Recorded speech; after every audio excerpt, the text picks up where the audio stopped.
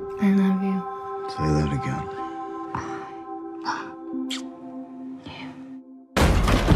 You're under arrest for the murder of Roland LeGrand. You got the wrong guy, pal. I was with her all night. Come on, let's go. This is a frame up. Hey, Pop, you all right? Got any money? Get some. Never escape without it. Louis Dega. Guy's a millionaire. Won't last long. You got a lot of eyes on you, my friend. For a little bit of that money you're carrying, I could keep you safe.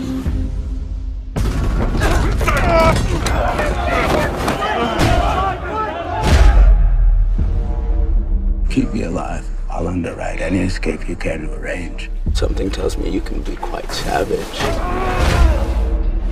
You are the property of the penal administration of French Guiana.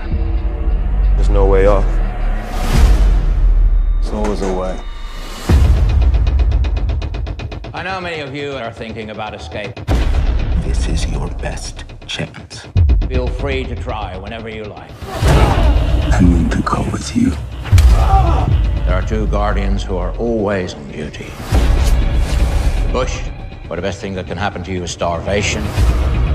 Or you could choose the sea, He's my friend.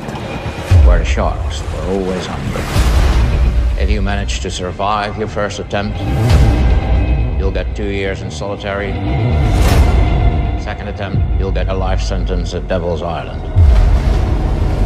Strange things happen there, especially to those who cling to hope.